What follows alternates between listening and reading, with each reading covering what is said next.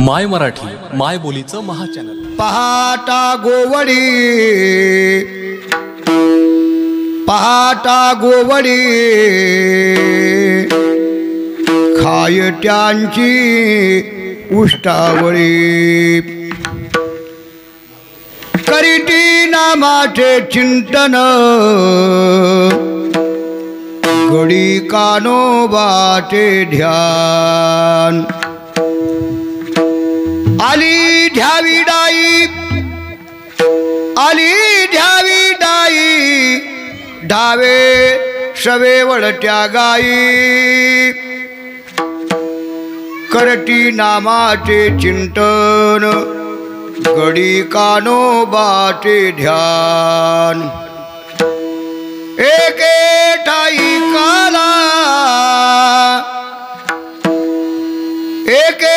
ऐकाला काला तुका म्हणे भाविकाला. करटी नामाचे चिंतन गडी कानोबाचे ध्यान विठ्ठल विठ्ठल विठ्ठल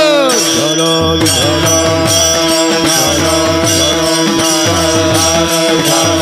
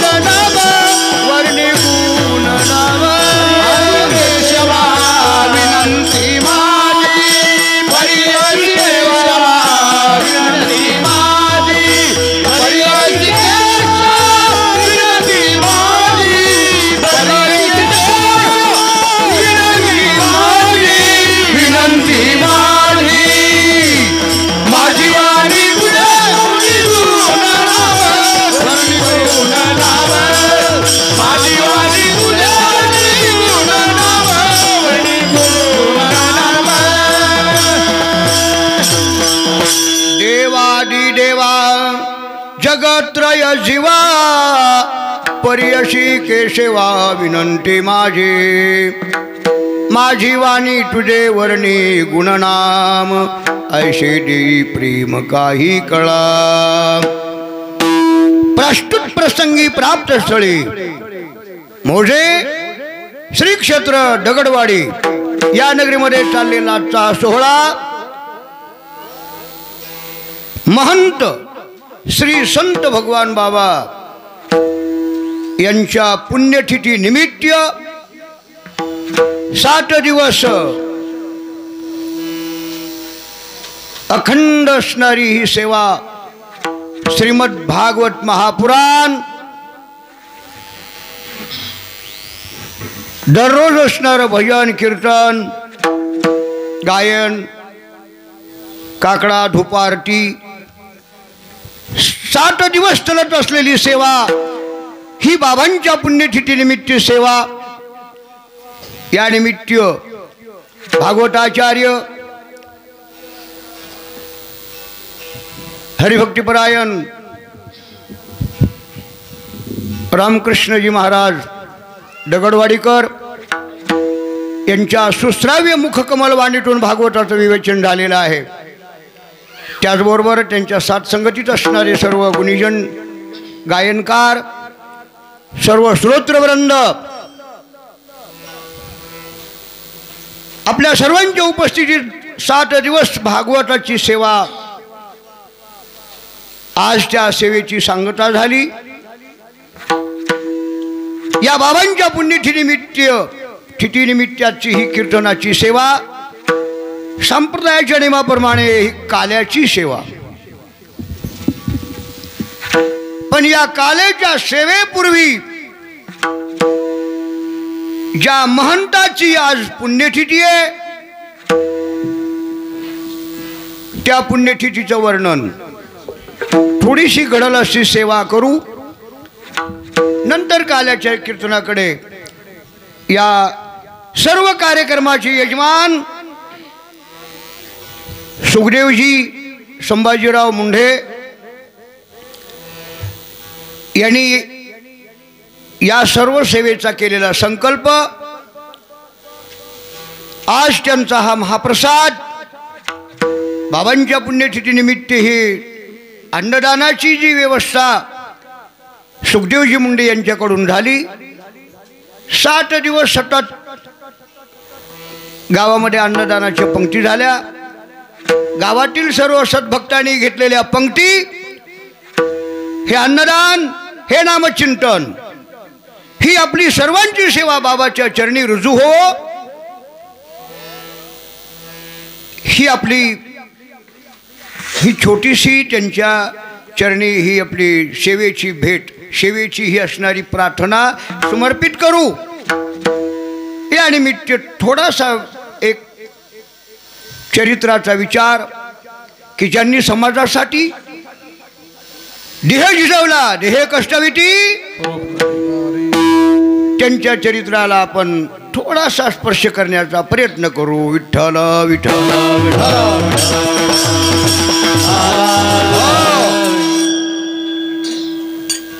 महाराजांचं मूळ गाव. पाटोदा जिल्ह्यामध्ये. तालुक्यामध्ये बीड जिल्ह्यामध्ये सुपे सावरगाव. या गावी त्यांचा जन्म झाला. त्यांच्या वडिलांचं नाव तुबाजी आबाजी सानप. तुबाजी आबाजी सानप. या तुबाजींच्या पत्नीचं नाव कौतिकाबाई. महान साध्वी स्त्री पतिव्रता स्त्री पती निष्ठपती प्रायण आपल्या परिस्थितीचा संसाराचा गाडा चालवताना त्यांना एक मोठी आवड होती दररोज रामायणाला जाणे. रामायणाची सेवा सतत करत जावी श्रवण करण्याची. त्यांच्या मनामध्ये इच्छाच असायची. त्यांना हमेशा हनुमान चरित्र ऐकण्याचा मारुती जन्म कथा ऐकण्याचा फार असणारा व्यसंग प्रेम होतं त्या कथेवर. हमेशा म्हणावं मला एखादा मुलगा व्हावा मारुतीरायासारखा. मला एखादा मुलगा व्हावा मारुतीरायासारखा अशी इच्छा करत असताना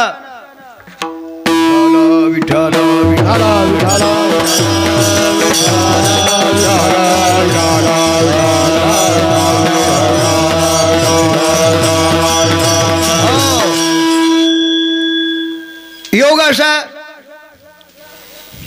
त्यांना दिवस गेले आणि डोहाळं होऊ लागलं डोहाळ्यामध्ये स्त्रीला काय आवडावं आणि जे डोहाळ्यात आवडत आहे ते लेकराला बिंबल्या जातं. गर्भाची आवडी मातेचा डोहळा. जेटीचा जिव्हाळा तेटे बिंबे. त्या कौतिकाबाईला त्या गर्भार अवस्थेमध्ये सुद्धा रामायण कीर्तन भजन ऐकण्याची फार आवड लागली. आणि कोण्याही स्त्रीला अशा अवस्थेमध्ये परमार्थ करण्याची इच्छा व्हावी मुलगा परमार्थिक निघतो. आता काही मै महिलांना तर असं होतं. डोहाळं लागलं त्या दिवसापासून. भजन कीर्तन म्हणलं. डोक्याला पट्टीच बांधली. माझ्या डोक्याला टेन्शन गेम माय काय झालं? मला टी व्ही बघायची किरकिर झाली. पोरगा हलकट निघत आहे. काही महिला गरोदरपणात शेतात जाऊन दसकटातली माती खात्यात. नक्की पोरग जमी निघते जशी प्रकृती तसं त्या कौतिकाबाईला रामायण ऐकावं वाटावं त्याचा परिणाम श्रावण महिन्यामध्ये त्यांचा जन्म झाला बाळाला जन्म दिला. जन्मावेळेस दोन मिनिट त्या वाड्यामध्ये लक्क प्रकाश पडला. कोणाच्या लक्षात आलं नाही? काय झालं असावं? असा दिव्य प्रकाश. बाळाचा जन्म झाला तीन दिवस ते पिलत नाही. मग ते पहिलं माणसं म्हणतो ते अरे लेकरू पिणं झालंय. नाव चालवा. त्यांचं नाव ठेवलं आबाजी. भगवान बाबाचं नाव काय? आबाजी. आबाजी तुबाजी सानप. आता आईनं नवस करून देवाला मागून घेतल्यासारखाच मुलगा रडतही नाही. शांत प्रतीचा त्याला लहानाचा मोठा झाला. लहान आहे तेव्हा त्याला पर पाराकडे जाण्याची परमार्थाची ओढ लागली. भजन कीर्तनाची त्याला ऐकण्याची सवय लागली. चार पाच वर्षाचा झाल्यानंतर शाळेत घातलं त्यांच्या गावात शाळा दुसरीपर्यंत. शाळा किती? दुसरीपर्यंत.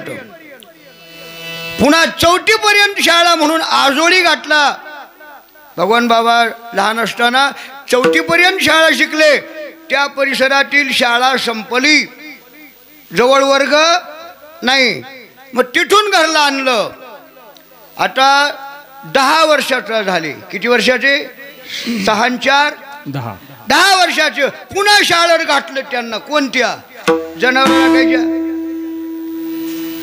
मग त्याही गायी सुंदर अशा प्रकारचे काही ज्या ढोरं असतील मुलासह चांगल्या प्रकारे गायी वळाव्या. नाही तर काही माणसं डहाणात सोडूनच गायी घेऊन येतात.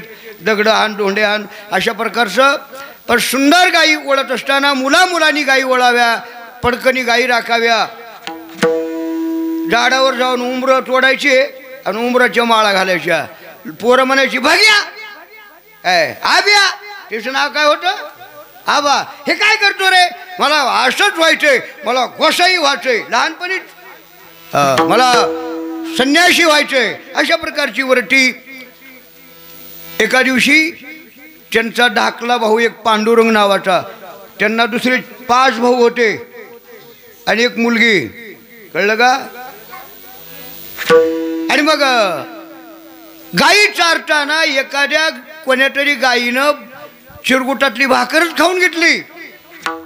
भुका लागल्या. ते पांडुरंग नावाचा जे लहाना भाऊ होता आबा आता काय खावं? भाकरी नाहीत. कसं करावं? भूक लागली. आ. तुला काय करायचंय? सगळी व्यवस्था आहे. थोड्या वेळ अंतरावर पलकट गेले मोठा दगड उचलला गरम रोट्या खालून काढल्या दिव्य चमत्कार. खाल्ल्या पण तेवढा चमत्कार मला वाटतं हे पांडुरंग विसरूनही गेले असतील भावाच्या लहानपणामध्ये खेळता खेळता. याच्यानंतर आणखी काही दिवसांनी गाई चारताना एका मुलाला साप चावला. तोंडाला फेस आला. आबाजी थोड्या अंतरावर होते. काय झालं काय झालं? मुले पोरला साप चावला. इकडं आणा. झाडाखाली घेतलं सावलीला. त्याच्या अंगावरून हात फिरवला. वीस सर्पाचा सर्व उतरून गेलं आणि तो उठला. हे अलौकिक चमत्कार! लहानपणापासूनच त्यांना चांगली सवय लागली. मी तुम्हाला सटीप चरित्र सांगणार आहे. कारण काल्याचं कीर्तन आहे. एक दोन तीन तास चरित्र सांगू दोन तीन तास काल्याचं कीर्तन. पाच सहा तासामध्ये मी जास्त बोलत नाही. आणि मग थोडे मोठे झाल्यानंतर त्यांना सर्व खेळ खेळण्याचा सुरपाट्या हुटुटू कळ का? हा मामा हुमरी वगैरे जे पहिले खेळ होते ना हे खेळ खेळावे. शिक्षणामध्ये तर ते चौथीपर्यंत अगदी नंबर एकच होते दिल्याला सर्व पाठ करायचं. पुन्हा एका दिवशी त्यांच्या शेतामध्ये पीक आलं तर आई वडिलांनी सांगितलं आबाजी जा. शेताचं राखण कर. पक पाखरं हाकारायचं असतं ना. आणि ते गेले मळ्यावर बसून पाखरं हाकारत असताना काही अंतरावरून एक दिंडी चालली कुठं? पंढरीला. त्या परिसरातील सर्व लोक त्याच्यामध्ये त्यांच्या गावची त्याची चुलती पण होती. महाराज म्हणले भजन कशाचं आहे? खाली उतरून एका धुऱ्यावरून पाहिलं यालाही वाटू लागलं आपण पंढरपूरला जावं पंढरपूरला जावं तितके त्यांची चुलती दिसली. काकू ती म्हणली आव्या मला यायचंय. आहे चल मला कपडे नाहीत. चल पैसे नाहीत. चल. चुलती बरोबर गेली. गेले आबाजी भगवंताचं दर्शन आणि चंद्रभागेमध्ये कीर्तन असायचे. बरं का आपल्या इथल्या माणसाला पहिलं कीर्तन ऐकायची सवयच होती. इथून गेले. पलकड जरा त्या पुंडलिकाच्या तिथं पायरीला कीर्तन असायचं. धर्म केला. वंशाचा उदाहरण आमच्या ह्यांना फार आवड होती पंढरीत भाऊ आमचे पंढरी गुट्टे. आरतीय कीर्तन ऐकायचं र इकडलं रोज आहे. कळालं तुम्हाला सगळं कोणतं कीर्तन ते? मग आबाजी तिथं कीर्तन ऐकताना एका कीर्तनकाराला सांगतील अरे याच बीड जिल्ह्यामध्ये तिकडे एक महात्मा होऊन गेले गिट्टे बाबा. गिट्टे बाबा. आणि गिट्टे बाबाच्या शेतामध्ये गिट्टे बाबा वारीला आले आणि देवानी नांगूर हाणला. शेतामध्ये नांगूर धरला. हे आबाजीला वाटू लागलं मला इथं पंढरपुरात भेट होती का? आणि खरंच त्यांची भेट झाली आणि पहिली माळ गिट्टे बाबानं त्यांची घातली. आता मंदिर चालू आहे त्यांचं बांधकाम चालू आहे. गिट्टे बाबाचं पहिले गुरु भगवान बाबाचे असतील तर गिट्टे बाबा. परत दहा पंधरा दिवसांनी गावाकडे आले पारावर बसले. घरलाच जाईनात. घरचे माणसं आले. सांगतील तुम्ही सगळ्यांनी माळा घालाल तर मी येतो. पूर्ण भावाने घरच्यानी माळा घातल्या. घरला आले. काही कालक्रमण करत असताना एका दिवशी काही बाहेरून गुरु येतात बघा ते माळा घालायचे असतात ना कान फुके. कान फुकू नका बरं का. मी मागं सांगतील तुम्हाला नको फुंकू कान. बाबा मला पण गुरु करायचा आहे.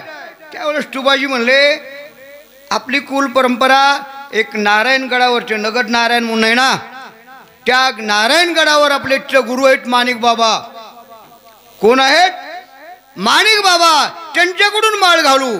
त्यांना इच्छा झाली आणि ते एका दिवशी त्या नारायणगडावर गेले. बाबा मला आपला शिष्य म्हणून घ्या. मला माळ घाला. मला दीक्ष दीक्षा द्या. मी असं करताना तुला शिष्य म्हणून घेतो माळही घालतो. पण विनोदानं म्हणले मंदिराहून उडी टाकशील तर? गेल्यावर आणि वरूनच उडी टाकली. अरे बापरे काहीच लागलं नाही. दिव्य चमत्कार. अगदी जवळचा लाडका शिष्य म्हणून घेतलं त्यांना माळ घातली. मला संन्यास दीक्षा ग्रहण करायची घरीच्याला विचारून ये. घरी सांगून आले. आणि संन्यास घेतला. आईबाप म्हणले महाराज आम्ही तुम्हाला कशासाठी राहलो होतं? आणि तुम्ही याला संन्यासी केलं. पडून गेले होते बाबा. पुन्हा आणून भेटले. भिक्षांदेही म्हणून त्यांच्याच घरी जाऊन भीक मागायला लावलं भिक्ष मागायला लावली. वैराग्य निर्माण झालं आणि ते बाबा त्या गडावर असताना सर्व व्यवस्था त्या गडाची ते पाहत होते. माणिक बाबांच्या सानिध्यात. पुन्हा असा काही काळ गेल्यानंतर एका दिवशी बंकट स्वामी आले तिसरे गुरु. तिसरे गुरु त्यांनी पुढचा विद्याभ्यास करण्यासाठी दोन तीन वर्ष त्यांना आळंदीला नेलं. आळंदीचा अभ्यास झाला पुन्हा परत गडावर आले. गडावरचा कारभार सर्व करत असताना हे व्यवस्थित चालू आहे. त्यांनी वाऱ्या पंढरीची वारी आळंदीची वारी आपली दिंडी हे सर्व काही करत असताना योगायोग त्या माणिक बाबांचं देहावसान झालं. माणिक बाबा गेल्यानंतर जातीय दंगलीचं भूत तिथं गडावर थोडं उभारलं. आणि बाबांचा थोडा छळ होऊ लागला. छळ झाला. एका नीच नराधम माणसानं त्यांचा फेटाचे का दुसऱ्या बाईच्या घरी नेऊन दुसरी बाई कळाली नेऊन ठेवला. आणि बाबा दोषी आहेत बाबा दोषी आहेत अशा प्रकारचे आरोप आरोप घातले. बाबांनी आपलं इंद्रिय तोडून टाकलं. तिथं तुळशी वापल्या. हा विषय सगळ्यांना माहीत आहे. आणि तो तिथलचा गड सोडला. हिमालयात जाण्यासाठी निघाले. मग त्यांच्या काही भक्तगणाने धौम्यगडावर त्यांना रम्य अशा ठिकाणावर ज्याला आज भगवानगड म्हणतोच ना त्या गडावर त्या धौम्य गडावर अनेक गंडले ऋषी केदारेश्वर अनेक संतांच्या त्या ठिकाणी महात्म्यांच्या समाध्या असणारं अनेक तीर्थक्षेत्र देव देवदैवता असणारा भोवतालून परिसर रमणीय परिसर त्या धौम्यगडावर बाबांचं मन रमलं. आणि सुंदर दगडी बांधकामाला सुरुवात केली. खूप मोठ्या अशा प्रकारचं मंदिराचं काम चालू असताना दिव्य चमत्कार. तहान लागली. पाणी नाही परिसरात. बाबा म्हणजे आम्ही कामगार आहेत आम्हाला तहान लागलेली आहे. पाणी नाही. मोठा दगड उचलला आणि त्याच्याखाली चिलमा पाणी विहीर आपलं चिलमा भरलेला पाणी किती पिलं तर सरलं नाही.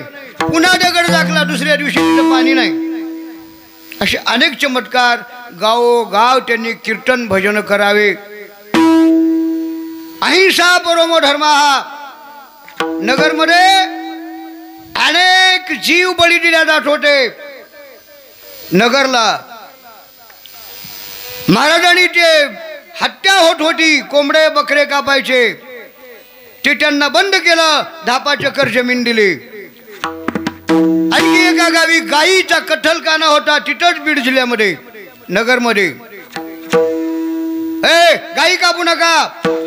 आम्ही गाई कापणार काय खावं? महाराजांनी दिव्य अशा प्रकारचं रूप धरून त्यांचा हात धरलं. तुमच्या अंगात काय ताकद आहे म्हणल्यावर पाण्याच्या एक पाण्यावर मोठ्या डोहामध्ये आपला पंचा टाकला.